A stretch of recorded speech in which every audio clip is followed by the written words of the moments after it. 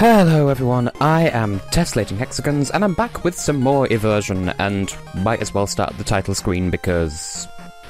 Uh, there's a level select. You don't it's not like one of those old games where you have to play through the game in order to get to the next level, which actually made Sonic 3D Versus a bit of a nightmare, but whatever.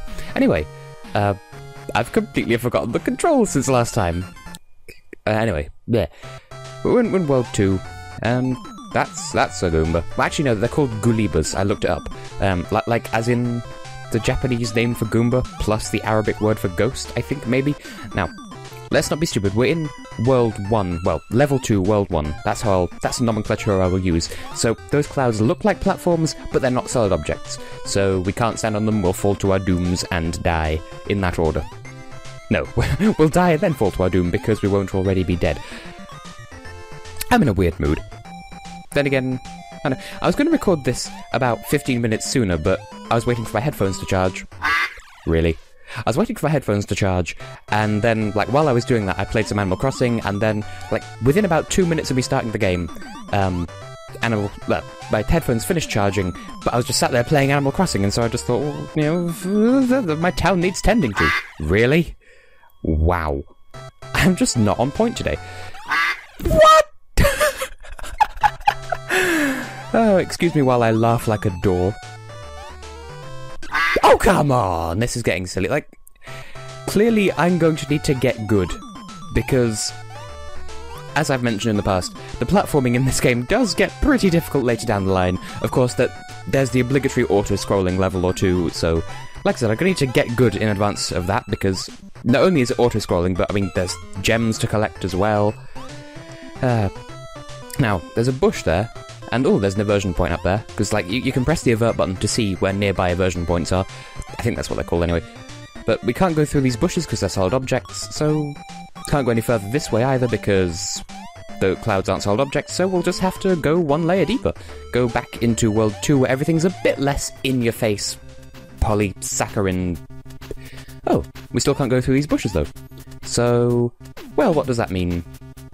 Ah, don't think I can go back that way because the clouds will cloud block me? It's like cock blocking without a penis? Whoa! Not appropriate for a game like this. Boop. Now, I don't think I mentioned in the last episode, but I certainly did like the the video description and the um. Oh, look, there's another eversion point. But we don't want to go back to the, the first layer because that'll just. Well, we're trapped in here anyway. Oh. Oh, in, in, a, in a third layer. Looks a bit gloomy, but I don't know.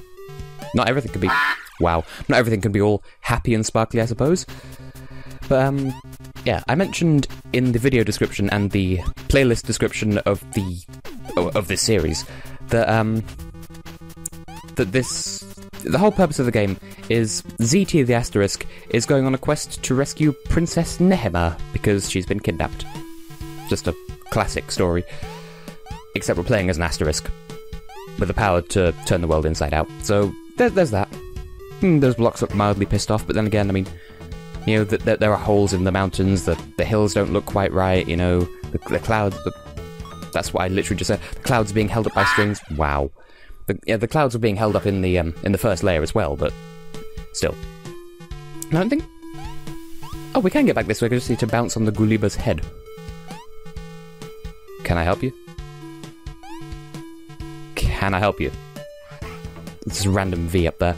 I actually legitimately don't know what that is because I think this game's had several updates. I'd say over the years, but across the course of an unspecified amount of time, and I like that that, that letter mechanic. I think is something that's been wow. I should have jumped and I didn't. I think that's something that's been added, but uh, I'm going to go back and check what that was because I, I, I, it feels like a collectible, and I'm going to try and collect it. So, can I have this V?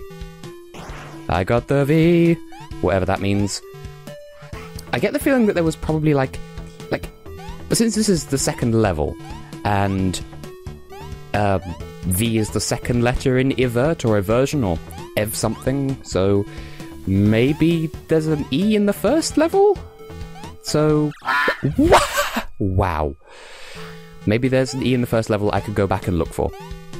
And as you may have noticed in, in the first level, I've been keeping a, a, a death counter just because, as I said, this game can get a bit devious with its platforming, so you know, just, just for shits and giggles, I'm going to see how many times I can fail, but that's the end of World 2, Level 2, whatever. So, as usual, well, that didn't actually take me all that long, so I, I won't sign out just yet. Um, not going to spoil what the next level looks like.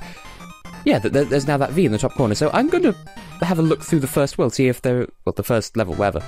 So of course you recognise this area. This is obviously level one. We did this in the last episode, but just to make sure that this that this place, this uh, this episode is what I'm trying to say, isn't too short. I'm gonna go back and see if I can find because I don't know. I, I you would have thought if there was like a hidden letter or something, I would have seen it in the in the recording of the first episode, but I I don't know. I didn't know to look for it.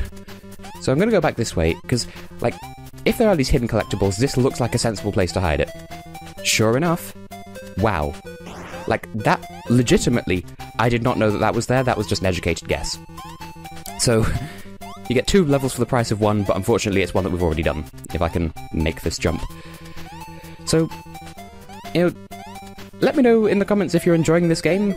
I mean, admittedly, Layer 3, World 3, whatever you want to call it, I just double everted. like, if this is the first, like, I'll refer to them as layers and the levels as levels, so we don't have to worry about the word world, I think. But let me know how, what you think of this game, what you think is waiting in the deeper immersion layers, and if you've played the game before, don't spoil it, because you know, I want it to be a bit of a, a surprise. People haven't played it before to see what these other worlds are like, or immersion layers, or whatever. So, Yep, sure enough, I'm guessing it spells either Evertable. You can see in the top right corner it says EV, and like, I didn't know there were collectible letters, but that's what I'm going to go for in this playthrough. I did not know they were there. Like, I literally learned this on this recording right now, so I'm to try and get all of them. I have no idea what that will accomplish, but I'm to go for it. If there's not an achievement for it, I will be very sad. But anyway, my thoughts been all over the place, but yeah.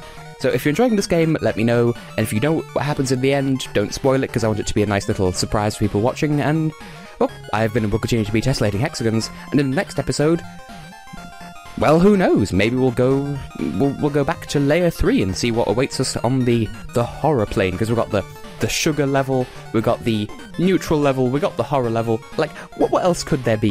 You know, feel free to speculate if you don't already know, but please don't spoil it because this game is best played without spoilers. So, see you in the next one.